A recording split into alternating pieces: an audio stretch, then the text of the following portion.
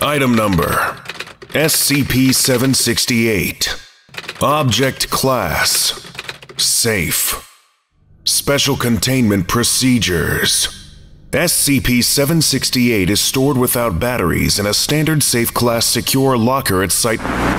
Access to SCP 768 requires approval from at least one Level 3 senior researcher, and Site security must be notified of any experiments to be performed on SCP 768 at least 24 hours in advance.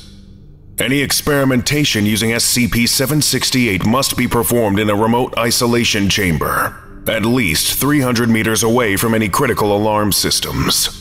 Researchers experimenting on SCP-768 must not bring any devices with alert mechanisms or alarms into the testing area, and researchers with personal medical alarm systems must not be allowed into the area while experimentation is underway.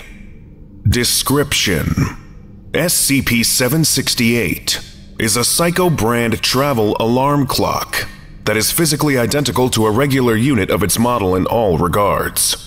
Its anomalous property is activated when the alarm feature of the clock is set, and the alarm activates.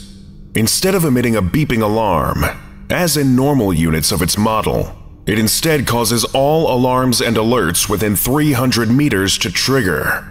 How SCP-768 accomplishes this is currently unknown, as disassembling SCP-768 and analyzing its components has revealed no irregularities or anomalous materials. Experimentation has shown that the types of alarm systems SCP-768 is capable of remotely triggering includes but is not limited to alarm clocks of all kinds, whether analog or digital, phone alerts and ringing for both mobile and hardline telephones, car alarms, medical monitoring systems, fire and disaster alarms, computer hardware alerts, including beep codes and emergency shutdown actions.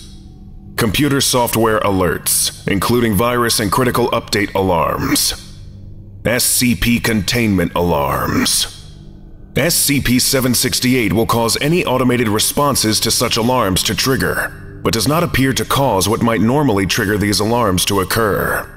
A phone ringing due to SCP-768 activating may cause an answering machine to start, but nothing will be recorded, as no connection is made.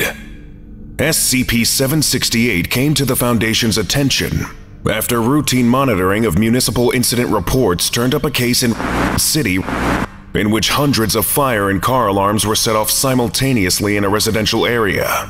Investigation led to the discovery of SCP-768 in the possession of a Mr. T.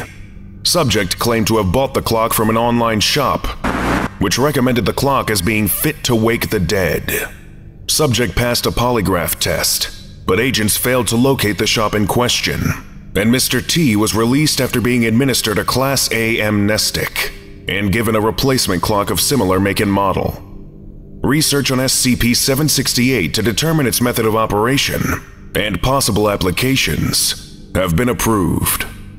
Addendum 768-1 Incident Report 768-01 Initial experimentation conducted with SCP-768 caused the triggering of multiple containment breach alarms at site, including that of Euclid level SCP, SCP, and Keter level SCP.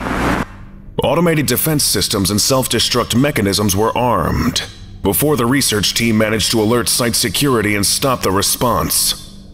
Due to the potential for triggering emergency responses, future research with SCP-768's effects must take place outside of the range of any alarm systems connected to critical systems or SCP containment alarms. Addendum 768-2 Incident Report 76805 During experimentation on Dr. heart monitor was set to an alarm state by SCP-768, causing his pacemaker to increase his pulse rate to nearly three times his normal rate. Dr.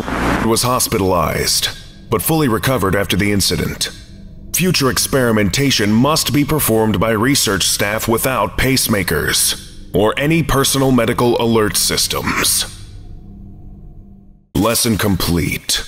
If you missed the previous orientation, go watch SCP 767 Crime Scene Photographs right now.